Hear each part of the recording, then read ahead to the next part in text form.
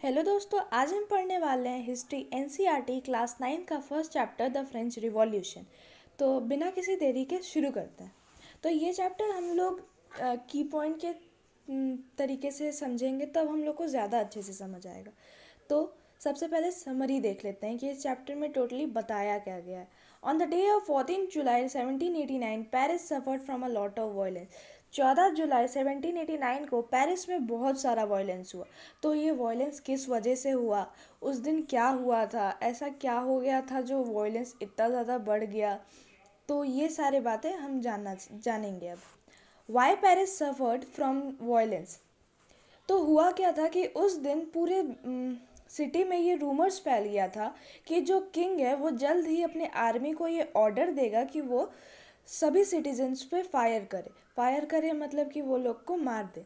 और ये इसलिए हुआ क्योंकि किंग जो था, वो अपने ट्रूप्स मतलब कि जो अपने आर्मी के मेंबर्स थे, उनको सोसाइटी के तरफ़ मतलब कि सिटी के तरफ़ भेजा था। What people did after hearing this order तो ज़रूर लोग कुछ करेंगे आप, जब उनको ये पता चलेगा कि किंग अब हम लोग को मारने के लिए ऑर्डर करने वाला है तो वो ज़रूर कुछ ना कुछ तो करेंगे तो हुआ क्या कि करीब सात हज़ार मैन और वुमेन एक डिसाइड किए, एक डिसीज़न लिए कि वो पीपल मिलिशिया बनाएँगे। पीपल मिलिशिया होता है कि जब आर्मी के जैसा गठन कर ले लोग, उसे पीपल मिलिशिया कहते हैं। और वो लोग ये निर्णय जो किए थे, वो टाउन हॉल के सामने किए थे। वो लोग बहुत सारे गवर्नमेंट ऑफ़िस तोड़े थे और लेकिन जो मेन था, वो था बैस्टिल जो कि एक प्रिजन था। प्रिजन मतलब जेल होता है। और वो बेस्टिल को सबसे मेनली इसीलिए तोड़े थे क्योंकि वो किंग का पावर दिखाता था। किंग का जैसा मर्ज़ी होता था, वो वैसे उसको, किसी को भी उसके अंदर भर देता था। बिना किसी अरेस्ट वारंट के या बिना किसी वजह से अगर कि, को किसी की बात पसंद भी नहीं आती थी तो वो उसे उसमें भर देता था। इसलिए बैस्टिल को सबको हेट करते थे। The commanders were killed and the prisoners were release वहाँ के जो कमांडर थे मतलब कि वहाँ के जो दरोगा थे वो रिलीज़ मतलब मार दिए गए थे और जो प्रिजनर्स थे मतलब वहाँ सात ही प्रिजनर्स थे पर उनको रिलीज़ कर दिया गया था। जब बैसिल का डिस्ट्रक्शन हो गया जब वो पूरा टूट चुका तो वहाँ के जो वो स्टोन के फ्रेगमेंट्स थे जो कि वहाँ के जो टूटा टूटा जो स्टोन्स थे वो सब मार्केट में बिकने लगे एज अ मेमोरी क्योंकि लोग वो चाहते थे कि जब उनके नेक्स्ट जनरेशन आए तो वो ये चीज़ उन लोगों को बता पाए कि आ, हम लोग बैस्टिल की लड़ाई के तर समय में थे।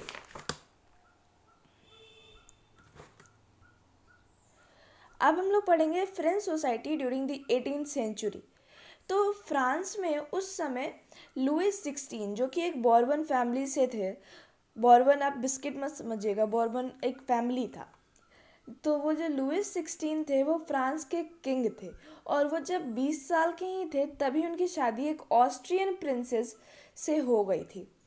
तो फ्रांस का जो उस समय जो ट्रेजर था, जो एक ख़जाना होता है हर एक देश के पास तो वो जो फ्रांस का उस समय ख़जाना था, वो पूरा का पूरा ड्रेंड आउट था मतलब उसमें बहुत कम पैसा था, क्योंकि फ्रांस थर्टीन अमेरिकन कॉलोनीज़ को अपना इंडिपेंडेंस प्राप्त करने में हेल्प किया था ब्रिटेन से। ब्रिटेन एक कॉमन एनिमी था सबका, क्योंकि ब्रिटेन उस समय बहुत ही ज़्यादा डेवलप्ड होने लगा था तो सबको पसंद नहीं आता था और ब्रिटेन किसी से ज़्यादा इम्पोर्ट एक्सपोर्ट का बिज़नेस भी नहीं रखता था। तो वो जो सिटी था पेरिस वो लगभग दो लिवर लिवर वहाँ का करेंसी हुआ करता था, जो कि आगे चल के बैन कर दिया गया था। वो लगभग दो लिवर का डेप्ट में था। डेप्ट होता है उधार, क्योंकि वहाँ के जो लेंडर्स जिन्होंने उन्हें पैसा दिया था सिटी को, वो वो जान रहे थे कि अब किंग के पास पैसा नहीं है तो इसीलिए वो उस मौके का फ़ायदा उठाने के लिए दस परसेंट इंटरेस्ट लोन पर लगाने लगे। पहले वो कुछ दो तीन परसेंट लगाते थे, पर जैसे ही उन्हें ये पता चला कि किंग के पास अब पैसा बिल्कुल भी नहीं है, वो इस समय का फ़ायदा उठाने लगे और लगभग दस हज़ार दस परसेंट लोन पर इंटरेस्ट गेन करने लगे। तो किंग को जो अब बेसिक नीड्स था लोगों का, वो तो पूरा करना ही होगा ना। तो जैसे देख लीजिए कि गवर्नमेंट ऑफिसेस है, उनको रन करना ही होगा, जो सिटी का मेंटेनेंस है वो करना होगा, जो भी जुडिशरी का से रिलेटेड है वो करना होगा, किंग को अपना पूरा महल का मेंटेनेंस रखना होगा। तो और भी बहुत सारे नीड्स होते हैं लोगों के, वो सारे फुलफ़िल करने के लिए उसको पैसा तो चाहिए होगा, और उसके पास पैसा बिल्कुल भी नहीं था। वो उसका ट्रेजर बिल्कुल ड्रेन आउट था। तो वो फोर्स हो चुका था कि वो अब टैक्स लेना शुरू करे। पर इस समय गलत बात ये क्या हो गई कि जो थर्ड स्टेट था मतलब जो सबसे गरीब स्टेट था, उसको ही बस टैक्स देना था और किसी को टैक्स नहीं देना था। देखिए फ़र्स्ट स्टेट था क्लर्जी क्लर्जी में आते थे जो बड़े बड़े चर्च में प्रीस्ट सब रहते हैं, वो दूसरा था नोबल्स नोबल्स में आते थे जुडिशियरी रिलेटेड या फिर जो एजुकेटेड मेंबर थे और थर्ड स्टेट में आते थे जो पुअर मेंबर कुछ कुछ उसमें जो माइनॉरिटी थे, वो एजुकेटेड थे बट वो बहुत ही ज़्यादा कम हिस्सा था। तो उस समय नब्बे प्रतिशत मतलब नाइन्टी परसेंट जो पॉपुलेशन था, वो पीजेंट का था, किसान का था, लेकिन उसमें से बस तीस परसेंट ऐसे लोग थे जिनके पास उनका खुद का लैंड था। और जो रेस्ट सिक्सटी परसेंट थे, वो वर्क करते थे क्लर्जी और नोबल्स के फ़ील्ड में, या फिर लैंड में आप कह सकते हैं। द क्लर्जी जो थे मतलब जो क्लर्जी और नोबल्स थे, वो लोग अपने आप को बहुत ही ज़्यादा अपर ग्रुप के मानते थे, क्योंकि उनको सर्टेन प्रिविलेजेस मिलते थे बर्थ से ही। तो वो लोग भी जो थर्ड स्टेट्स थे, उनसे टैक्स लेते थे। देखिए, ये बात तो बहुत गलत हो गई ना। किसी को अब ज़िंदगी जीने के लिए भी टैक्स देना पड़े तो फिर वो क्यों यहाँ आया है? तो वो जो टैक्स लेते थे, उनका नाम था टाइट्स। और जो टैक्स जो किंग को देना पड़ता था, उसका नाम था टैली। अब हम लोग देखेंगे स्ट्रगल टू सरवाइव। तो जो फ्रांस का पॉपुलेशन था, वो ट्वेंटी थ्री मिलियन से से ट्वेंटी एट मिलियन हो गया सेवनटीन फिफ्टीन से सेवनटीन एटी नाइन के दौरान। तो लगभग रख लीजिए कि हम लोग के देश से two two crore and eighty lakh something वो लोग का, हम लोग के देश से नहीं, हम लोग के मतलब जैसे हम लोग का करेंसी गिना जाता है, उससे उन लोग का पॉपुलेशन रख लीजिए कि लगभग two crore and eighty lakhs था।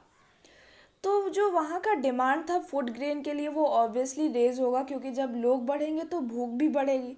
लेकिन वहाँ के जो मतलब वर्कर्स थे, उनके जो वेजेस थे मतलब उनको जितना भी पैसा मिलना था, वो एक फिक्स था। मतलब अगर ज़्यादा सेल हुआ तो भी उनको उतना ही वेज मिलेगा और अगर कम वेज, कम प्रोडक्शन हुआ या कम गिव एंड टेक का रिलेशन हुआ तो भी उनको उतना ही मिलेगा। और इसकी वजह से सब्सिटेंस क्राइसिस हो गया।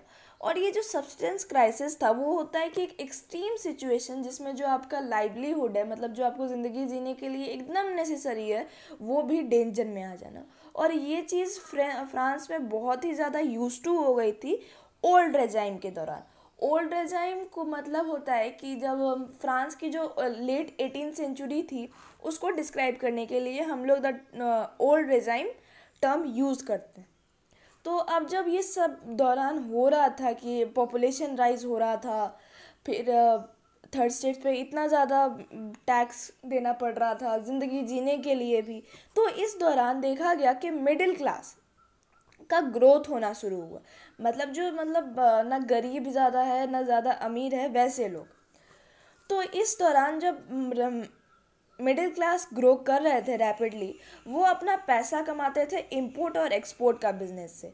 और जो कुछ मेंबर थे थर्ड स्टेट्स के, वो एजुकेटेड थे और वो बिलीव करते थे कि कोई भी ऐसा इंसान नहीं होना चाहिए जो बस अपना बर्थ से प्रिवलेज उठाए। और बल्कि वो ये बिलीव करते थे कि जो एक पर्सन जो है, वो अपने मेरिट के वजह से जज किया जाना चाहिए, ना कि उसके जज ना कि उसके पैदा होने के कारण। तो ये जो इम्पोर्ट एक्सपोर्ट का बिज़नेस करते थे, वो होता क्या था कि आप जैसे मान लीजिए कि कोई प्रोडक्ट इंडिया में बना रहे हैं और आपके पास उसका प्रोडक्शन ज़्यादा है तो आप उसको दूसरे कंट्री में जैसे आप अमेरिका भेज सकते हैं, आप उसको अमेरिका भेज करके आप उसका कुछ ना कुछ प्रॉफिट ज़्यादा कमा सकते हैं और एक्सपोर्ट होता है जो वहाँ से ले ले। एक्सपोर्ट इंपोर्ट का यही बिज़नेस है। तो ऐसा ही चल रहा था कि थोड़े थोड़े मेंबर्स ऑफ़ मिडिल क्लास के थे, वो उठने लगे थे, क्योंकि जो थर्ड स्टेट्स के भी जो पढ़े लिखे थे, वो लोग भी थोड़े मिडिल क्लास जैसे ही थे। और उनका ये मानना भी था कि, और वो लोग बहुत ही ज़्यादा एक अच्छे नागरिक थे। वो लोग जानते थे कि क्या क्या हम लोग पे बीत रहा है कितना कितना गंदा बात हो रहा है हम लोग के साथ, ज़िंदगी जीने के लिए भी टैक्स देना पड़ रहा है।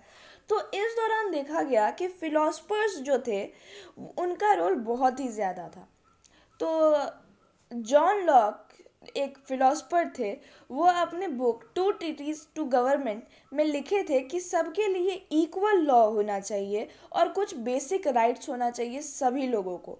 तो ये बात तो बिल्कुल सही थी, क्योंकि अब बेसिक राइट्स जैसे राइट टू फ्रीडम है राइट टू लिव है राइट टू स्पीच है ओपिनियन है तो ये सब तो ज़रूरी है सभी के लिए, क्योंकि ये सब एक ऐसा राइट्स है जिसको सबको चाहिए होता है। और लॉ के सामने एक मतलब समानता वो तो बहुत ज़रूरी है, क्योंकि ऐसा अगर नहीं होगा तो कोई बड़ा आदमी है, वो आसानी से गलत काम करके निकल जाएगा। तो जॉन लॉक अपने बुक में ये बात लिखे। फिर एक दूसरे फिलोसफर आए रॉशयू उन्होंने एक आइडिया दिया अप, वो एक बुक नहीं किए थे वो एक न्यूज़पेपर में लिखे थे कि जो पीपल और रिप्रेजेंटेटिव होते हैं मतलब जो गवर्नमेंट है और जो पीपल है वो लोग के स, मतलब बीच में मतलब बातचीत होते रहना चाहिए एक सोशल कॉन्ट्रैक्ट होते रहना चाहिए। फिर एक मॉन्टेस्क्यू आए ये आइडिया दिए कि पावर का जो होता है वो डिवीज़न करना चाहिए लेजिस्लेचर में एग्जीक्यूटिव में और जुडिशियरी में। तो ये सारे फिलोसफर्स का रोल इस फ्रीडम स्ट्रगल या मोनार्की से दूर होने के लिए बहुत ज़्यादा बड़ा था। इनके जो आइडिया थे वो बहुत ही ज़्यादा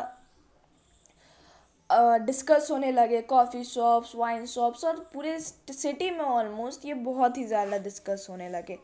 और पीपल जो थे, वहाँ के लोग जो थे, वो और ज़्यादा फ्रस्ट्रेट हो गए कि जब टैक्स उन पर बढ़ा दिया गया।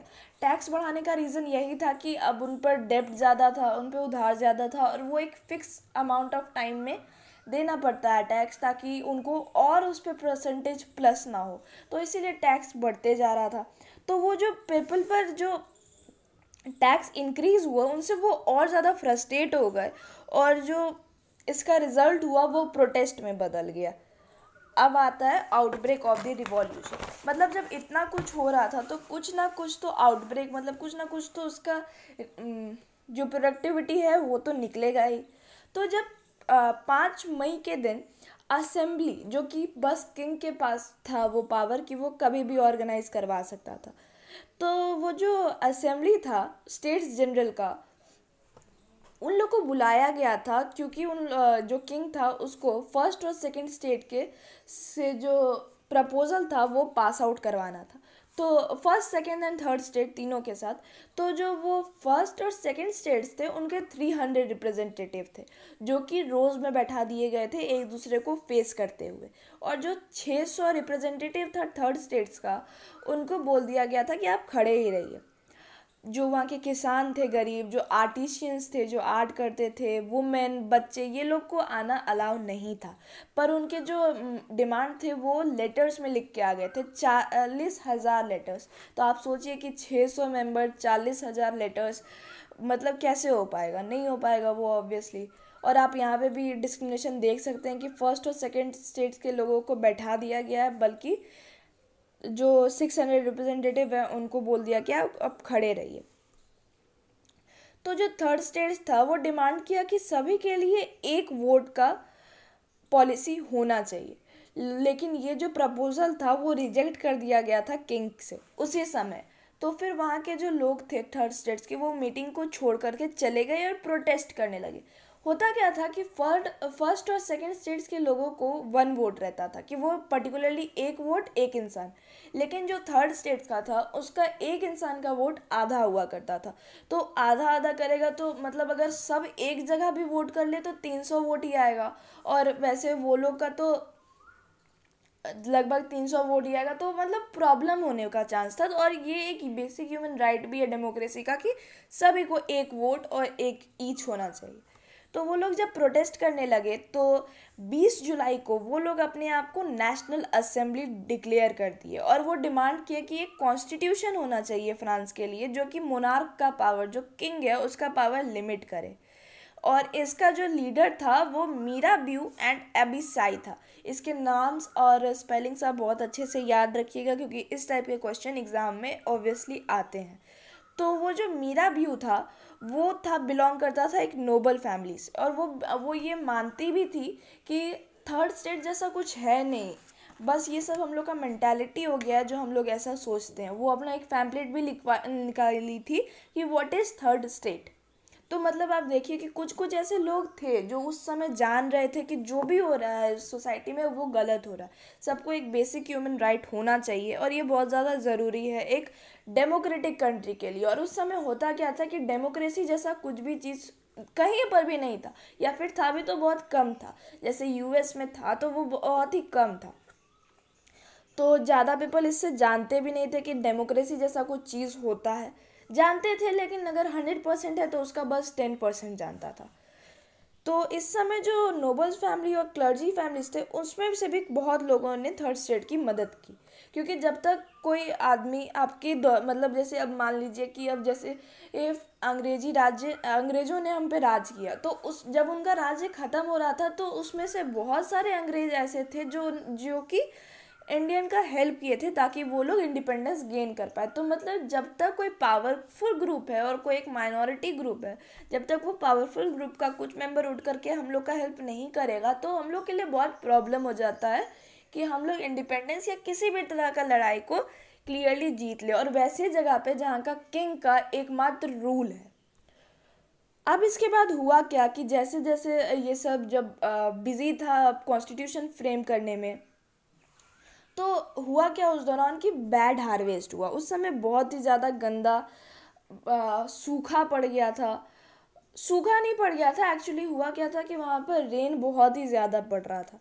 तो वहाँ का जो रेन ज़्यादा पड़ने के कारण जो हार्वेस्ट नहीं हो पा रहा था, उसके कारण जो ब्रेड का प्राइस था, जो कि मेजॉरिटी पीपल खाते थे, वो उनका जो day day to day like खाने का था, वो बहुत ही ज़्यादा इंडेंजर में आ गया था। लोगों को बहुत सारा घंटा मतलब लाइनों में गुजारना पड़ता था और बेसिकली उसमें सारी वुमेन रहती थी। और फिर क्या हुआ एक दिन कि जब बहुत सारा समय उन्होंने वुमेंस ने क्यू में निकाल दिया तो फिर उन लोग को गुस्सा आ गया। जब इंसान के पेट में भूख रहेगा तो फिर वो ज़रूर कुछ ना कुछ तो कर ही देगा, क्योंकि विनाश काले विपरीत बुद्धि। तो वो लोग क्या किए तो सारे के सारे शॉप्स थे, उनको वो तोड़ दी। और बैस्टिल जो कि आप लोगों ने पढ़ा था, वो प्रिजन को भी उन्होंने तोड़ दिया। और जब वो आगे बढ़ रही थी बैस्टिल की तरफ़ में तो वहाँ से उन्होंने बहुत सारे मेन जो थे, वो लोग भी उनको आकर के ज्वाइन किए। वो लोग बहुत सारे गवर्नमेंट ऑफ़िस तोड़ दिए। क्या उन्होंने बहुत सारा ऐसा कागज़ डॉक्यूमेंट्स जला दिया, जो कि इम्पोर्टेंट थे उस सिटी के लिए। जो गवर्नमेंट ऑफिशियल्स के हाउस थे, वो जला दिए। बहुत सारे लोगों को जला दिया उन्होंने, क्योंकि वो लोगों को खाना ही नहीं मिलता था कुछ। और इस समय वहाँ की क्वीन ने ये बयान दिया कि अगर उन लोग के पास ब्रेड नहीं खाने को है तो वो केक खा सकते हैं। तो केक कैसे खाएगा कोई इंसान जब जिसके पास ब्रेड खरीदने का पैसा ही नहीं है, जिसको टैक्स भरने में ही ज़्यादा समय चले जाता है तो वो अपना पेट कैसे भरेगा केक को? अगर मान लीजिए कि ब्रेड बीस रुपया का है तो केक दो सौ रुपया का होगा। तो obviously one eighty rupees matters मतलब ऐसा कुछ फिक्स नहीं था कि ये ऐसा था। हम बस आपको एक बता दिए, एक आप, कि आप अच्छे से समझ पाओ। तो इस दौरान हुआ क्या कि बहुत सारा रूमर्स भी फैला। जब भगदड़ होता है तो बहुत सारा रूमर्स फैलता है कि अब किंग हम लोग के साथ क्या मतलब फायर कर देने के लिए अब ऑर्डर करेगा, फिर हम लोग के घरों को जला देगा, ये कर देगा, वो कर देगा। तो इसमें क्या हुआ? बहुत सारे दंगे हुए। तो बहुत सारे दंगे हुए, कुछ दिन चलते रहा। उसके बाद कुछ दिन बाद जब वो नेशनल असेंबली जो डिक्लेयर किए थे, उनको किंग ने एक रिकॉग्नाइजेशन दे दिया कि वो सच में नेशनल असेंबली है। और वो लोग का जो डिमांड था कि कॉन्स्टिट्यूशन को फ्रेम किया जाए, वो भी एक्सेप्ट हो गया था।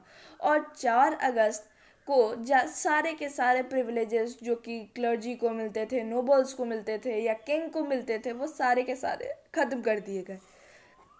अब इसके दौरान क्या हुआ कि जब कॉन्स्टिट्यूशन फ्रेमिंग का ऑर्डर हो गया, जो कि पावर उसको लिमिट करेगा मोनार्क का और जब ये सारा बैस्टील टूट गया गवर्नमेंट का ऑफ़िस टूट गया, सारा चीज़ टूट गया, उसके बाद क्या हुआ? जब फाइनली कॉन्स्टिट्यूशन फ्रेम हो गया तो फ्रांस जो था, एक कॉन्स्टिट्यूशनल मोनार्क था।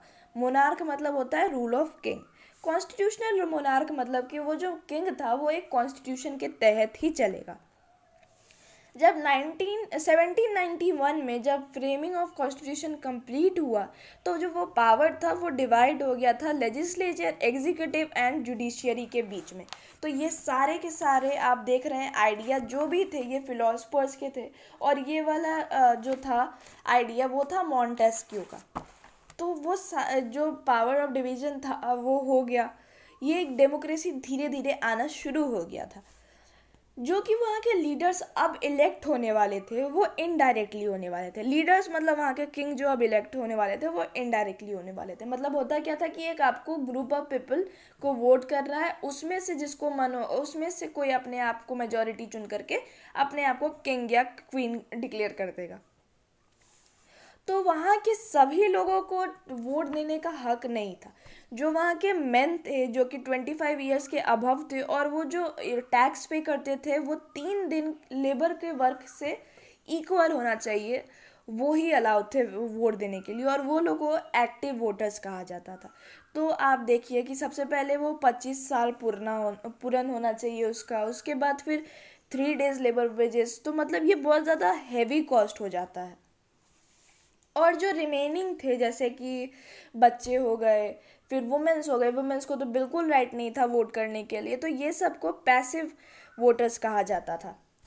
तो इस दौरान जब कॉन्स्टिट्यूशन फ्रेम हुआ तो कुछ सर्टेन राइट्स जो होते थे, वो भी लोगों को मिले थे। जैसे right to life right to freedom right to speech opinion equality before law ये सारे के सारे लोगों को दिया गया था। ऑब्वियसली अब जब कॉन्स्टिट्यूशन फ्रेम हो रहा है, जब आप हमको कुछ भी आप अच्छा मेरे लिए करोगे ही नहीं तो कॉन्स्टिट्यूशन फ्रेम कराने का क्या रीज़न हुआ? कोई रीज़न नहीं है।